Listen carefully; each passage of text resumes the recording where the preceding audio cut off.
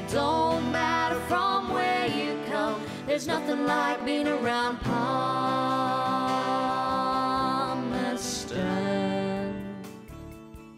This is Kathy Sadler. She's the boss of the Cancer Council here in Darwin.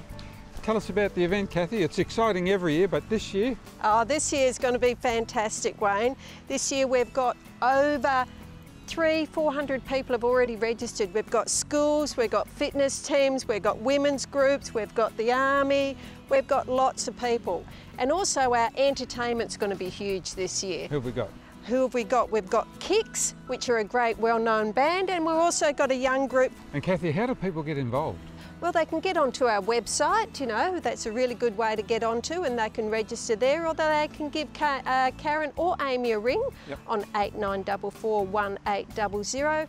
Just come and talk to us, and you can get involved by being a group, or on the night, on the 16th, you can come down and just participate. Charlene Erickson, you've had some tough times. It was enough to write this book, and it's just sensational. What does the book mean to other people? So my inspiration to write the book was uh, to basically share my story and uh, let people know what it's like to be a cancer patient and also for their family and friends to help a person in need that might be going through cancer because it is a very tough time and it's uh, sometimes a very awkward uh, conversation to have with your family or friend member so I hope my book can uh, basically uh, give it a little bit of a help. So there you go, Gardens Oval, 5 o'clock Friday. It will be huge and it's for a wonderful cause.